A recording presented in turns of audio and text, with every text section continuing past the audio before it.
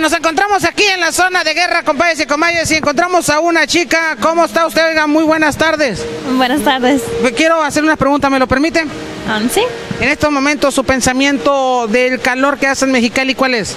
Ay, ¿Cómo se llama primeramente? Maritza. Maritza, Maritza, ¿qué piensa del calor de Mexicali?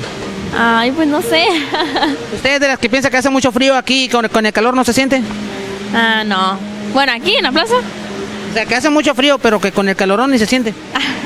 No. ¿No? ¿Usted mira tres gruperos a las cinco y media de la tarde? Um, casi no. Es ¿Por que qué no? Eso es malo. Usted está muy bonita. Pero ¿sabe qué? Déjeme decirle que las muchachas que miran tres gruperos a las cinco y media de la tarde, de lunes a viernes, se ponen más chulas todavía. Ah, ok, lo voy a ver porque no lo miro. Un saludito que quiera mandar. Um, ¿Su marido, su novio? Bueno, mi marido, ¿Cómo se llama? José. José. ¿Cómo, cómo conoció a José? Um, pues vivía por mi casa y ahí lo conocí. ¿Se lo llevaron a su casa? Me lo, me lo, Ah, me lo ¿era robé. vecino? me lo robé a mi casa. ¿Y qué vecina tan ratera? Ahora hasta la suegra ya tiene de vecina. Ya, Bueno, ¿ya tiene hijos? ya. ¿Cuántos? Uno. ¿Cómo se llama? Iker.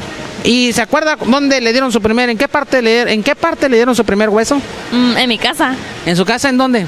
Um, afuera. ¿Afuera? ¿La abrazó primero o sin abrazo? No, sí me abrazó. ¿De larga duración o corta? Larga. ¡Ay, José, José! Saludos a José, Maritza y la colonia. Villas de la República. Esto es tres. Gruperos.